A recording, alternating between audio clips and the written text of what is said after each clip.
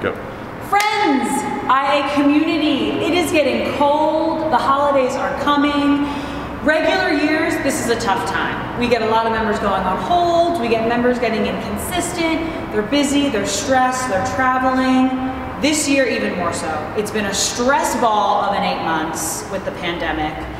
We're finally got back in the gym over the summer. Keep that consistency going. We are a very unique community where we have the space and the setup to be safe in here.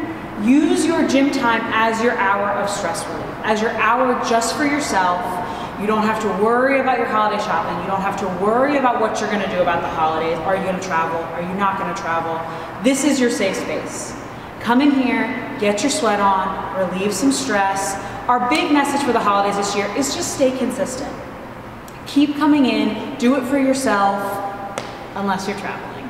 We got a three day rule if you're traveling, so take those three days to stress relief in a different way and then come back in.